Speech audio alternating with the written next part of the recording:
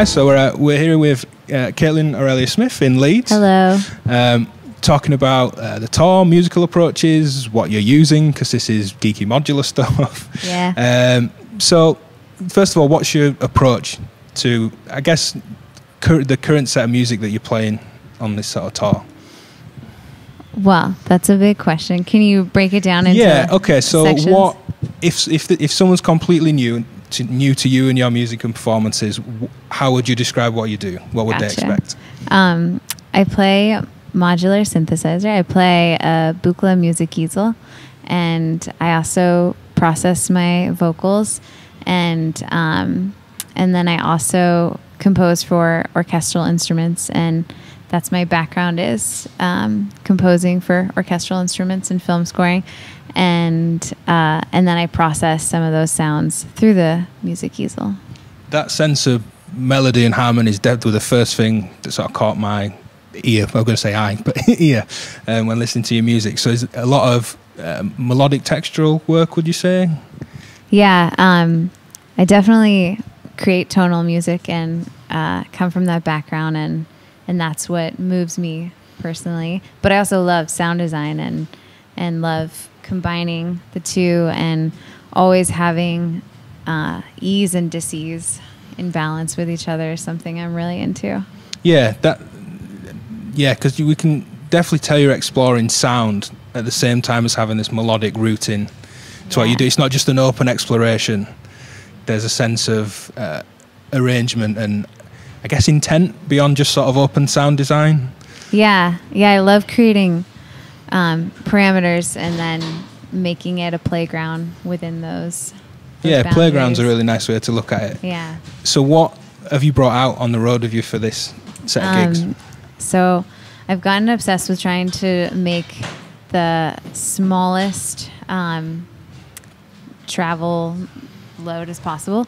And I have the Buchla Music Easel, which I carry on my back. I finally figured out how to make it into a backpack, which I'm really excited about. And then I have a few MIDI controllers that I use as extensions of the Music Easel. Um, I use an OP1 to do sampling of the Music Easel, um, just like real time sampling and deleting, sampling and deleting. And then I have a Novation Launchpad that basically controls my vocals because I've uh, had such a hard time finding any harmonizer that will do modal stuff. So I've Right, just kind of made my own where uh, in real time I'll be playing.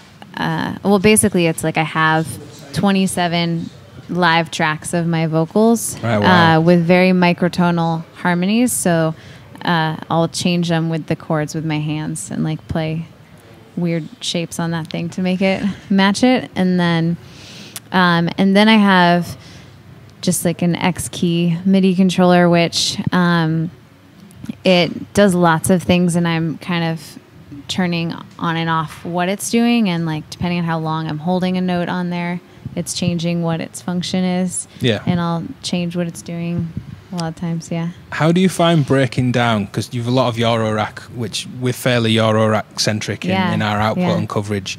Um, how do you find breaking down a bigger studio system to something you can actually play with internationally? Yeah.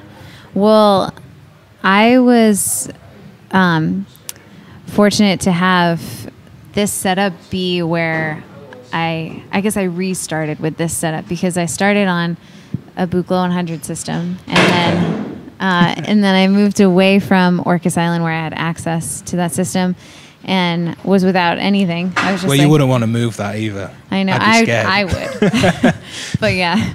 Um, and so then I got the music easel and um, and I wrote uh, Euclid and ears with just this setup that I have. And so Right, from okay. there I've been building my studio and I've just kind of kept this sectioned off as like this is my live setup. Yeah. This is my studio setup. Um, but I mean, I'll still record with the live setup, but uh, but I don't Yeah, usually. Yeah, I don't usually uh, take the the studio one out. Yeah. Yeah. So, will this uh, current iteration of your live setup and the sort of core of the studio, do we think that will change as the studio's grown? Has anything stood out? Are you going to take Eurorack on the next tour or any Yeah. keyboard synths or? Um, I'm still figuring it out. Um, but I think on the next tour, I will take Eurorack with me. Okay. Um, I'm not. I'm still figuring. It'll be a combo probably. Okay. Yeah. Do you feel This one was so specific to ears because because I wrote ears with like the the live portion of it was already figured out and basically I just pressed record and Yeah. that that was how I recorded ears. So uh, so this next album. I I did it the other way, where I like did it all in the studio, and then now I'm like, you're never how to figure out how it? to? Yeah, I think it's a struggle Yeah. we all have. I think that the sort of Frankenstein nature of a Eurorack system as well. yeah, limited space. You know, Yeah. you can't travel internationally with several. Well, you could, but you maybe not, don't want to bring several cases. Um, how do you find? Which, it's the weirdest thing to me that I never get stopped in the airport with the music easel. It- people but seem I really always scared. get stopped with with like if I have like a hard boiled egg or like something. We've it's so weird to me. if people seem really scared of taking modular on a plane, but plenty of friends and, and things we've covered, people do. Yeah. Um, a friend of ours, Radic, that plays at these events, just gone to New Zealand, and if, he seemed to have the time of his life with airport security. They wanted to know what it was. They wanted to hear him play know, it. They wanted a mini so concert. They were so yeah. interested. yeah. He had a good time, not the sort of restrictive, Yeah. heavy-handed sort of thing they they would think they'd have. I always ask if I could take a picture of the X-ray thing, but they won't let me. He got one He on the way to New That's Zealand. Yeah, so he's got the X-ray of his, so of his Eurorack system. New Zealand. Okay. Yeah, New Yeah. Zealand's the one for the X-ray picture for the album cover. Yeah, I know. so rad looking. With that open nature of Eurorack against the easel being what it is, do you find it hard to pick what's going to come along?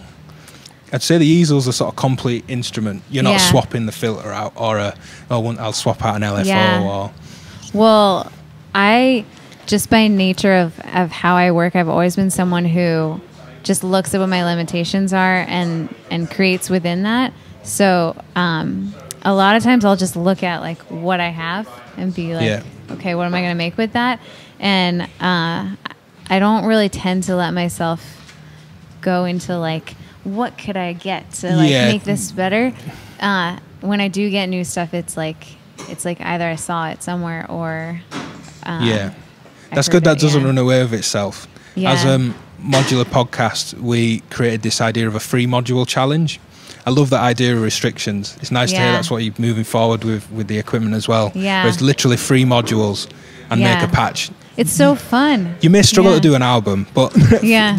it's doable. But yeah. Yeah. free modules and that's it. There's actually so much you could do with three modules. It's amazing to me how much you can do. I've actually done. Um, I never released it, but uh, but I want to someday. I did a, a test or like a challenge with myself of I could only have three long sine waves, um, and I had to figure out like how to make 30 minutes of music that would be to me Oh, that's interesting cool. that I would want to listen to. And there's so much you can do with. I mean, Yeah. yeah, I like the idea of it's very different to an artist releasing an album, but multiple people having that. This is your core content. yeah. This is it, or even the same free Reality modules. TV show. yeah, modular reality TV. This week we've got a maths, Yeah. a DPO, and an Optomix. Go, Yeah. and that's all anyone can have. Uh, it, it does force creativity, though. I bet the you idea that show would be popular. You should do it. The modular reality show. yeah. Um, well, yeah. Um, thanks for running us down. What's going on, and Yeah. we really look forward to seeing the concert tonight, and also after speaking, seeing how this progresses. Yeah, me too. Uh, so yeah, Yeah. Uh, thank you very much. Thanks.